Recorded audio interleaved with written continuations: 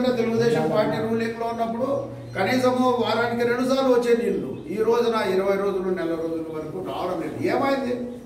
ఈ ఈ నాలుగేళ్ళలోనే జనాభా పెరిగిపోయిందా?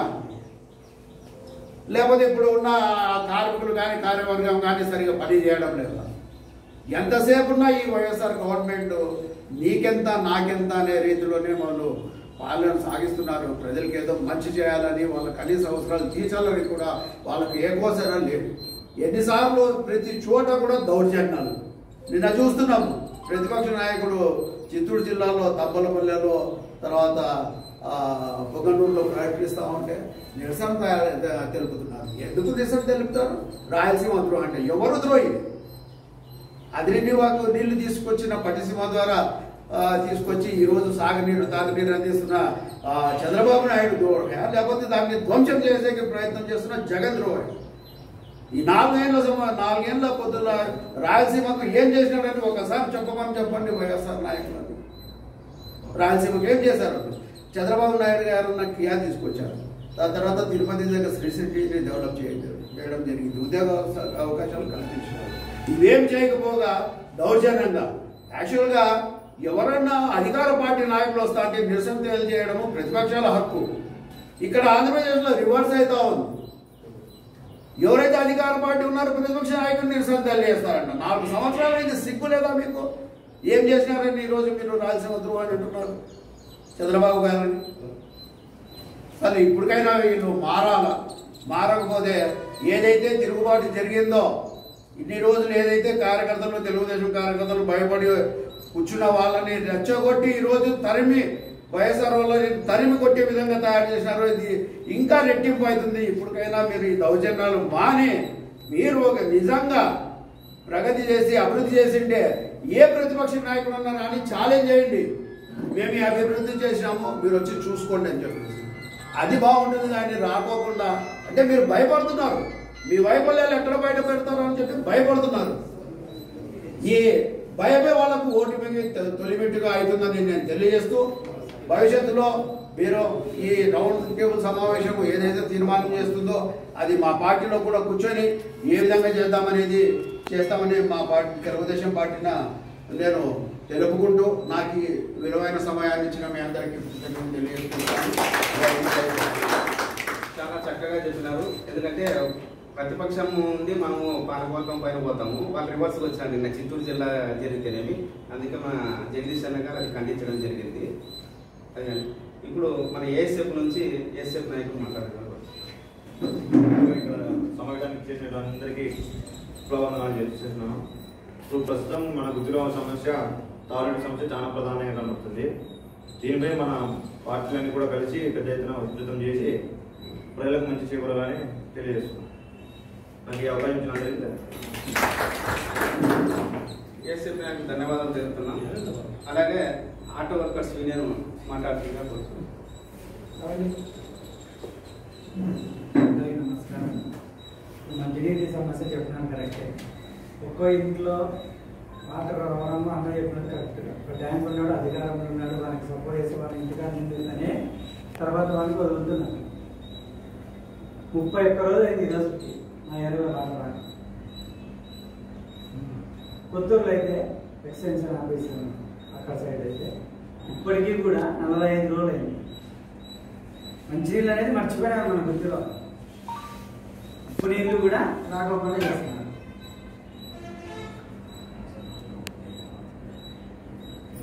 చాలా ఇబ్బందిగా ఉంది ఇప్పుడు మీరందరూ చాలా క్వశ్చన్ నీళ్ళ సమస్యలు చాలా ఇబ్బంది ధన్యవాదాలు తెలుసుకుంటున్నా లో పాల్గొన్నటువంటి సిపిఐ పార్టీ నాయకులు తెలుగుదేశం పార్టీ నాయకులు తర్వాత సిపిఎం పార్టీ నాయకులు మైనార్టీ సంఘం నాయకులు విద్యార్థి సంఘము కార్మిక సంఘం నాయకులు మహిళా సంఘం నాయకులు మీడియా మిత్రులు సోదరి సోదరులారా ముఖ్యంగా ఇది చాలా సిగ్గుసేటు ఈ సమస్యల గురించి మాట్లాడడానికి మన మాజీ ఎమ్మెల్యే జిక్కన్ గౌడ్ గారిని కూడా ఆహ్వానించాను. కాకపోతే కొంచెం వేరే కారణాల వల్ల కొంచెం ఆయన ఆ, కాకపోతే ఎందుకంటే ఒక మంచినీటి కూడా ప్రతిపక్షాలు ఎన్నిసార్లు ఆందోళన చేసినా కూడా ఆ మంచినీటిని కూడా సరఫరా చేయలేకపోతుంది ప్రభుత్వం అంటే దీనికన్నా సిగ్గుచేటి ఇంకోట్లేదు ఎందుకంటే ఈ ప్రభుత్వము ఉద్యమ కోరికలేం అడగలే. తాగే నీళ్ళు ఇవ్వండి అని అడుగుతున్నాం వాళ్ళు తెలుగుదేశం పార్టీ వాళ్ళు కౌన్సిల్ మీటింగ్లో మాట్లాడిన ధర్నా చేసినారు. అన్ని రాజకీయ పక్షాలు మొత్తం పోయి ప్రిన్సిపల్ ఆఫీస్ దగ్గర ధర్నా చేసినాము. తర్వాత మళ్ళా పోయి నేను కలెక్టర్ని కలిసిన స్వయంగా కలెక్టర్ గారికి చెప్పినా గుర్తులు ఇట్లా సమస్య ఉంది దాన్ని పరిష్కారం చేయమని. ఆమె కూడా వెంటనే నేను చర్య తీసుకుంటానని చెప్పింది. అయినా ఈ రోజు వరకు కూడా ఈ సమస్య పరిష్కారం కాలేదంటే ఇది చాలా వైఎస్ఆర్ పార్టీ వాళ్ళు ఎట్టు బతుకుతున్నారు కానీ అధికారంలో ఉండి వాళ్ళకి నిద్ర ఎట్లా వస్తున్నదో అర్థం కాదు. మంచినీళ్ళు కూడా సరఫరా చేయలేని ప్రభుత్వం ఎందుకు? వాళ్ళ మున్సిపాలిటీ ఎందుకు? వాళ్ళ ఎమ్మెల్యేలు ఎందుకు? వాళ్ళ ముఖ్యమంత్రి ఎందుకు? వాటరు అందరికీ అవసరమైనది వాటర్. ఆ వాటర్లో కూడా రాజకీయం చేస్తావా? ఆ వాటర్లో కూడా రాజకీయం చేసేదానికి ఉపయోగించుకునే పద్ధతి చేస్తే ట్యాంకర్లు పెట్టి పెట్టి ఎవడో పలకపడుతుందో దగ్గర ఇంటికాడ నిలబెట్టి లేకపోతే వాళ్ళ ద్వారా డబ్బులు కలెక్ట్ చేసుకోవడం ఇట్లా చేస్తుంటే ఇంత అన్యాయం జరుగుతూ ఉంటే ఇంకేముంది?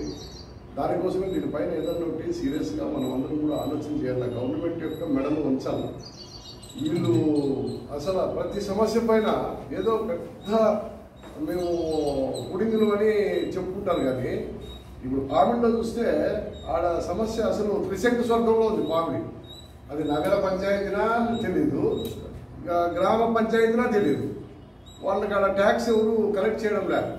తర్వాత ఎవరైనా ఇల్లు కట్టుకోవాలని అప్లికేషన్ పెట్టాలంటే అప్రూవల్ లేదు కదా.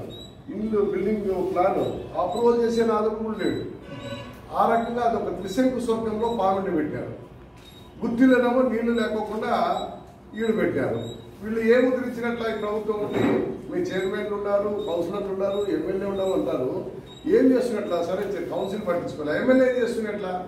ఎమ్మెల్యే బాధ్యత ఏమి? నియోజకవర్గంలో సమస్యలపైన స్పందించి ఆయన కూడా దానికి కావాల్సినటువంటి మన మాట్లాడి పరిష్కారం చేయాలి కదా అతను?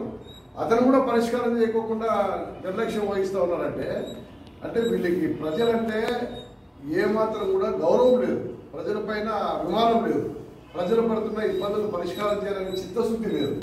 అందుకోసమే ప్రతిపక్షాలుగా మన పాత్రను మనం కూడా నిర్వర్తించాల్సిన అవసరం ఉంది. ఎన్నిసార్లు ధర్నాలు ఎన్నిసార్లు ఊరేగింపులు చేస్తాము నువ్వు పోలీసులు పెట్టుకొని కొంతమందిని అణచవచ్చు మమ్మల్ని అంచగలవా ప్రజా సమస్యల పైన ఉద్యమించేటువంటి నాయకుల్ని పార్టీని నువ్వు అంచగలవా కేసులు పెడితే మాత్రం మేము వెనక్కి తగ్గుతావా నువ్వు ఫస్ట్ ఆ ఇష్యూ పరిష్కారం చేయి ఆ మంచినీటి సమస్య ప్రజలకు అందరికి కూడా రోజు మార్చి రోజు లేదా రెండు రోజులకోసారి తర్వాత ఇప్పుడు అంతా కూడా దానికి వ్యాధులు వస్తున్నాయంటే ఎవరు కారణము?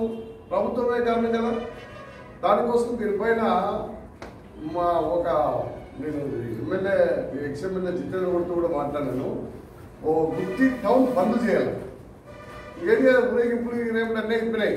గుత్తి టౌన్ బంద్ చేసి ఈ ప్రభుత్వాన్ని నిలదీయాలి. మంచినీళ్ళు సరఫరా చేస్తాం అప్పుడు కింద నుంచి పై వరకు కదులుతారు. ఈ గుత్తి టౌన్ బంద్ చేస్తే. దానికోసమని ఆ తేదీని మీరందరూ కలిసి మాట్లాడి ఖరారు చేయండి. దానికోసం అది తెలుగుదేశం పార్టీ వాళ్ళు కూడా మళ్ళీ సపరేట్గా మాట్లాడి నిర్ణయించండి. సిపిఎం వాళ్ళు నిర్ణయించండి సిపిఎం నిర్ణయించండి అది పదకొండో తారీఖు ఈ నెలలోనే. ఎక్కువ సమయం ఇచ్చేది లేదా. ఇరవై తారీఖు. ఆగస్ట్ ఫిఫ్టీన్త్ అయిపోయాక స్వాతంత్ర దినోత్సవం అయిపోయాక ఆగస్ట్ ఇరవై లేదంటే పదకొండు. స్వాతంత్రంలో లేదు కాబట్టి వృత్తిలో ఇంకేంటి స్వతంత్రం వచ్చినా తాగి నీళ్ళు లేకుండా చేశారు కాబట్టి పదకొండో తారీఖు. ఈ రెండు డేట్లలో మీరు అందరూ మాట్లాడుకొని లోకల్గా ఉద్యమం చేయాలి. లేకపోతే ఈ ప్రభుత్వం సమస్యలు పరిష్కారం చేయదు. ఎందుకంటే మంచి మాటకి చింతకాయలు రాలుతాయా అనే ఒక సామెత ఉంది కదా. రాళ్ళతో కొడితేనే రాలుతాయి. దానికోసమని ప్రభుత్వం పైన పోరాడే తప్ప ఇంకా ఎస్ఐ ఏం చేస్తాడో సీఏ ఏం చేస్తాడో చేసుకుంది. ఉద్యమాలు నడిచేదానికి వాళ్ళ తాత తరం కూడా కాదు. వాళ్ళ తాత వచ్చినా తా ఉద్యమాలు నడిచివేసేకి లేదు. నువ్వు సమస్య ఎస్ఐ కానీ సీఏ కానీ పోయి ఆ మున్సిపల్ ఆఫీసులో నీళ్ళు సమస్య పరిష్కారం చేయడం. చేత అయితే. కానీ మనకు అడ్డం వచ్చేదానికి ప్రయత్నం చేస్తే మాత్రము ఎంత మాత్రము సమంజసం కాదు. అందుకోసమనే దీనిపైన తీవ్రమైన ఆందోళన మనము చేయాల్సిన అవసరం ఉంది. అదేవిధంగా ఇది అయిపోయిన తర్వాత నెక్స్ట్ అందరం కలిసి అన్ని పార్టీలు కలిసి ఆ పామిడిది కూడా అడగాల. ఎవడన్నా పెడతాడేమో నువ్వు అది పంచాయతీలన్నా ఫైనల్ చెయ్యి నగర పంచాయతీలన్నా చేయి వాళ్ళకి ట్యాక్స్ వసూలు చేయకుండా తర్వాత ఒక్కటి బాగా చేస్తున్నారట పామిడిలో. ఏం బాగా చేస్తున్నారు అంటే రిజర్వ్ స్థలాలు ఏవే ఉన్నాయి ఇంతకు ముందు అవి మాయం చేస్తున్నారట వాళ్ళు. దాంట్లో ప్లాట్లు వేస్తున్నారంట. అంటే రిజర్వ్డ్ సైట్లో ప్లాట్లు వేసి అమ్ముతున్నారు. ఎవరైనా ప్లాట్లు ఇంతకుముందు ప్లాట్లు వేసింటారు రిజర్వ్డ్ సైట్ పంచాయతీకి వదిలింటారు దాంట్లో పోయి వీళ్ళు ప్లాట్లు వేసేది వాళ్ళని తీసుకొచ్చి రిజిస్ట్రేషన్ చేశారు అక్రమ వ్యాపారాలు మాత్రం బాధ కొనసాగిస్తా ఉన్నారు. కానీ నిజంగా ప్రజలకు ఇబ్బంది అయినా ఎందుకంటే వాళ్ళకి ప్లాన్ అప్రూవ్ చేయాలి బ్యాంక్ లోన్ కావాలంటే ప్లాన్ అప్రూవ్ కావాలి. ప్లాన్ అప్రూవ్ కావడం లేదు. దానికోసం వాళ్ళంతా ఆందోళన చెందుతున్నారు. దానికోసం నెక్స్ట్